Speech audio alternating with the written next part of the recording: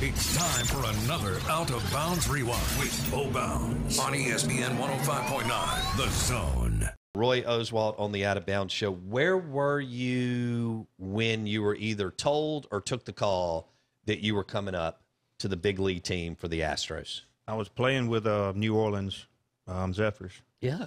and um, I had pitched about four or five games, started about four or five games.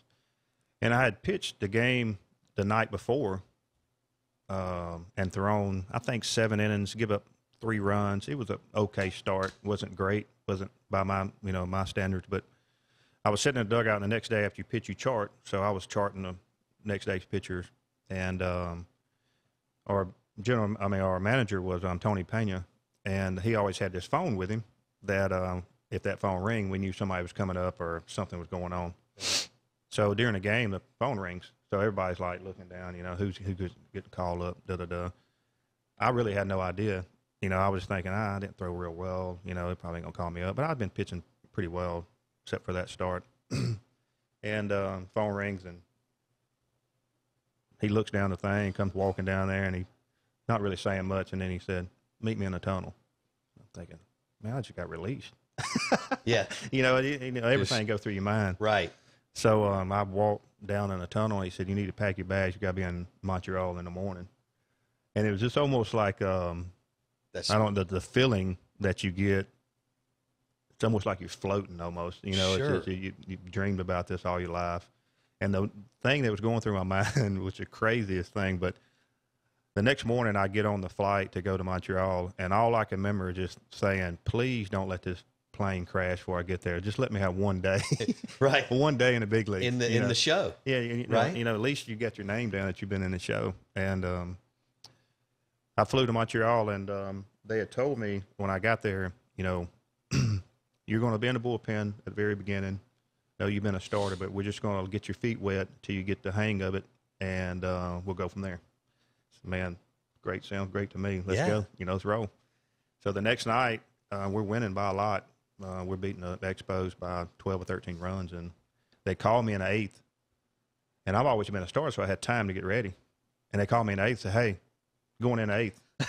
and I'm thinking, man, I ain't even stretched or anything, you know. So I jump up and I start stretching. Well, Mike Jackson is in the bullpen with us. He pitched for the Indians for a long time, and uh, he said, "I'll jump up and get warm with you. If you're not ready, don't run out there and hurt yourself. I'll throw one out, and then you can come in." All right, so I, I throw like five or six throws. And I'm about to get on the hill. Well, he throws seven times off the hill, and the inning's over. And I'm like, I haven't thrown a pitch off the mound yet, you know. He goes, I'll get the first out, and you come in after me. He goes out and throws four pitches, and gets through the eighth inning. so I'm sitting there thinking, you've got to be kidding me, you know. So anyway, I'm like, well, I'll be ready for the ninth, you know. So I go out there in the ninth, and I pitch the ninth um, against the Expos. And actually, the first guy I got to face, or maybe the second guy I got to face, was um, Vladimir. And um, Wow. I got the first strikeout with him, so it's pretty special. That's cool. So by the second day you're in the show, you pitch at Montreal for the Astros. We leave Montreal. That's the last day in Montreal, and the next day we're in Chicago facing the Cubs You get you get to be in Wrigley. with 38,000 people there. That's amazing. Yeah, probably the Was you it- know, it. I've never been there. You know, I never got to go see the Cubs play before. So the first time I actually at Wrigley, I'm on the field, which is pretty special.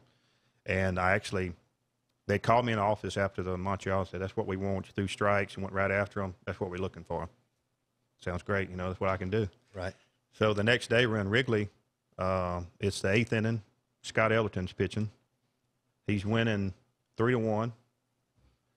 We have one guy on, one out, and they call down the bullpen and says, if the next guy gets on, you're coming in. And I'm thinking to myself, you just told me last night that I'm I'm only coming in blowouts or if we're winning by a lot. so, you know, he said, uh, well, if the next guy gets on, Sammy's coming up and you're facing Sammy. So Great. I get to go see Sammy Sosa. yeah, so second day, third day I'm in the big leagues.